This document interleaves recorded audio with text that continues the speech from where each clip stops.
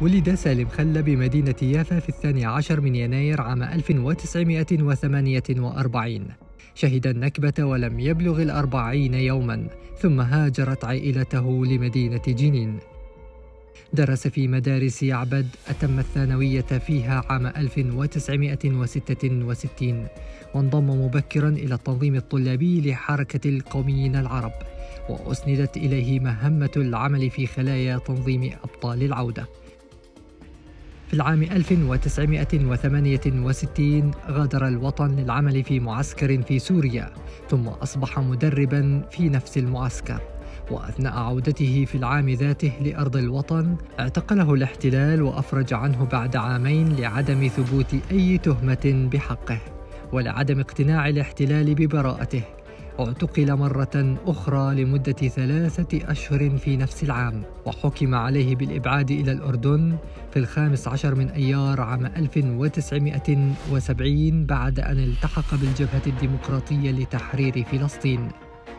أشغل مواقعا عديدة وتسلم مهام قيادية سياسية وعسكرية من إدارة قاعدة في السلط إلى القتال في الجولان ومعارك الثورة في طرابلس والبقاع والتمثيل السياسي في سوريا والعراق واليمن شغل عضوية قيادتها المركزية وعاد إلى سوريا قبل عودته إلى الوطن عام 1996 لعضويته في المجلس الوطني الفلسطيني. في الوطن تولى عدة مهام في العمل التنظيمي في شمال الضفة الغربية وامتاز بروح وحدوية عالية وفي الأعوام 2005 و2006 خلال الانتخابات الرئاسية والتشريعية اندمج في محاولات بناء تيار ثالث لإنهاء القطبية في النظام السياسي الفلسطيني ولعب دورا وازنا في الحياة السياسية والوطنية.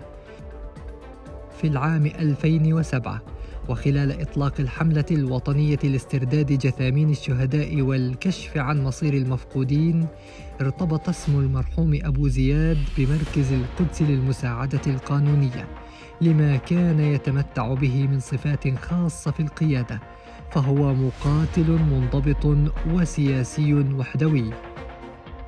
في العام 2008 في ذروة الانقسام السياسي استطاع أن يجنب المؤسسة أي تقاطب سياسي على قاعدة أن الشهداء هم شهداء الوطن ودمهم يوحدنا جميعا. وبقيت الحملة مفتوحة على كل الأطر في الوطن سياسية كانت أو مؤسساتية بعيدا عن أي تمويل واعتمدت على دعم مجتمعي هائل. كان فتح ملف جثامين الشهداء صعبا لأن النجاح فيه لم يكن مضمونا. وكان السؤال ماذا سيحصل لو نكأنا تلك الجروح المتراكمة ولم نستطع إغلاقها؟ لكن الحمله بقيادتها الجماعية ودور أبو زياد استطاعت تحقيق المستحيل. وتم إعلان اليوم الوطني لاسترداد جثامين الشهداء في السابع والعشرين من آب من كل عام. اعتبارا من العام 2009 في العام 2010 كان الانتصار الأول باسترداد جثمان الشهيد مشهور العاروري بقرار قضائي بعد أكثر من 34 عاماً على أسره. عام 2012 استطاعت تحرير جثامين 91 شهيداً وتوالت النجاحات حتى اصطدمت بقرار إسرائيلي يسمح باحتجاز الجثامين للمساومة والتبادل وذلك لإخفاء معالم جرائم الإعدام خارج القانون. تحول الكهل أبو زياد إلى شاب في العشرينيات يجوب الضفة الغربية من أقصاها إلى أقصاها مشاركا في استلام جثمان شهيد في الأغوار ثم تشييع شهيد آخر في قباطية يلقي الكلمات ويؤبن الشهداء في نابلس ويطبطب على ظهور بناتهم وأبنائهم يعانق عائلاتهم في الظاهرية ولم يبخل لا بجهد ولا بدمع أو مشاعر. كان أكثر ما آلم أبي زياد اشتداد المرض ولم يعد قادرا على الاستمرار في هذا الدور. تنحى طواعيه ولكنه لم يتخلى عن الدور تحول من موظف إلى متطوع شغل منصب أمانة السر في مجلس إدارة مركز القدس للمساعدة القانونية. يقوم بما يستطيع.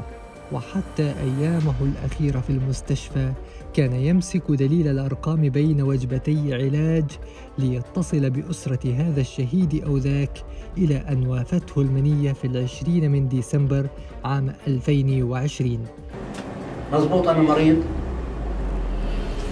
مريض الكانسر بس آه، في يوم من الأيام قال لي عصام عرور اللي هو مدير عام مركز القدس أنت كان يمكن تكون أحد هذه الجثمين لأن أنا كنت في هذا المجال العسكري في مرحلة من حياتي. أنا والله دمعة كل أم كل زوجي كل أخ وأخت إنها بتنزل من عيني كل أم لها ركن في قلبي وفائي لهم راح يستمر حتى آخر لحظة في حياتي سوف نعيش ذكراك أبدا يا مدرسة في النبل والتواضع والإخلاص للهدف. نعاهدك كما عاهدنا أرواح الشهداء ألا نلقي الراية حتى استرداد وتشييع جثمان آخر شهيد وملاحقة مجرمي الحرب حتى آخر نفس فينا.